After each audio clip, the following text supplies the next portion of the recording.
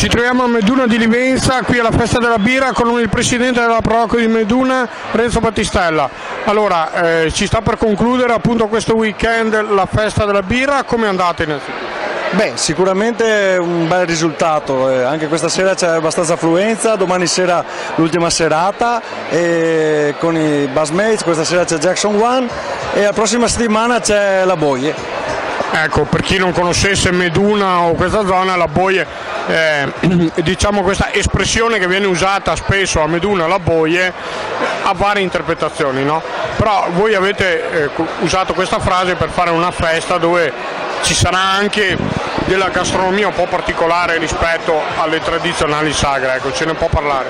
Certo, eh, sono più di cent'anni che a Meduna si dice il detto a boie e proprio per questo il, precedente eh, presidente della Proloco, attuale sindaco Arnaldo Pitton, ha inventato questa festa eh, diciamo culturale e enogastronomica, nel senso che eh, per ricordare un po' i tempi di una volta ci sono queste pietanze particolari che non si trovano più e non si usano più, una volta erano di, di uso comune nelle famiglie di tutte le, di tutte le case, in, tutte le, in, tutti i rioni, i quartieri, oggi per trovare queste pietanze bisogna che qualcuno le proponga a qualche festa tipo questa, altrimenti in giro non si trovano più con noi il sindaco di Meduna di Venza, Arnaldo Piton, in un abbigliamento un po' particolare perché eh, oltre che il sindaco fai anche il cuoco.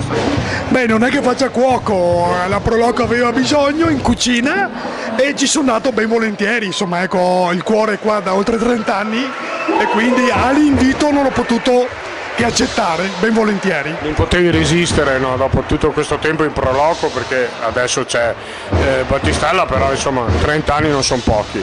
Eh, questa festa di questa sera, la prossima sera ci sarà la festa della boie.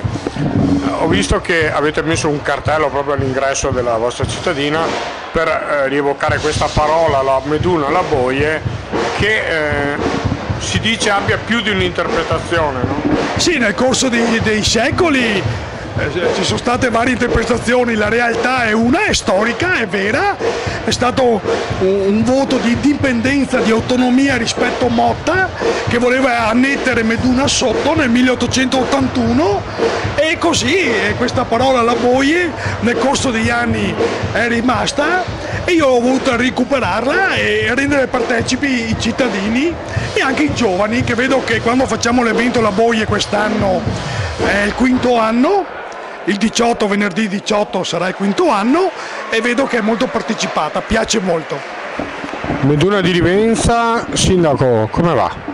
Bene, è un impegno, fare il sindaco anche di un piccolo paese è un impegno come un paese di 10.000 abitanti.